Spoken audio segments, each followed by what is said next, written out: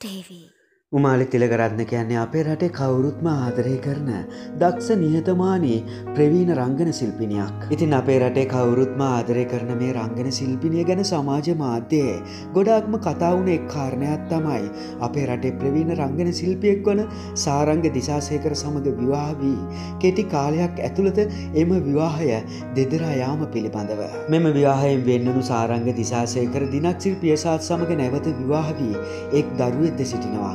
මේ වෙනවිට උමාලි තිලකරත්න නම් තනිකට ජීවිතයක් තමයි ගත කරන්නේ. ඉතින් රේස් ටෙලි කතාවේ උමාලි තිලකරන්න සමක රංගනයෙන් දායක වුණු ඌන්දුගේ චරිතයට පණපෝපු හේසාන් මනුල මෙන්න මේ විදියට ආදරණීය සටහනක් ඇය වෙනුවෙන් තබලතියන අපිට දැක ගන්නට ලැබුණා. රේස් ටෙලි කතාව අවසන්මා හැමදාම ගරු කරන කලාකාරණයක් රේසරා මට මුණ ගෑනවා.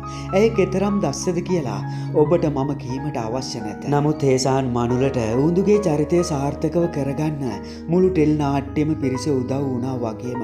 මේ නිසා තමයි මම හිටපු තැනින් තවත් උඩට මගේ රංගනය වැඩි දියුණු කරගත්. ඇත් සමග රඟපාන්න ලැබීමත් මගේ වාසනාවක්. ඇයගේ නිගෙන ගන්න තව බොහෝ දේ ඇත.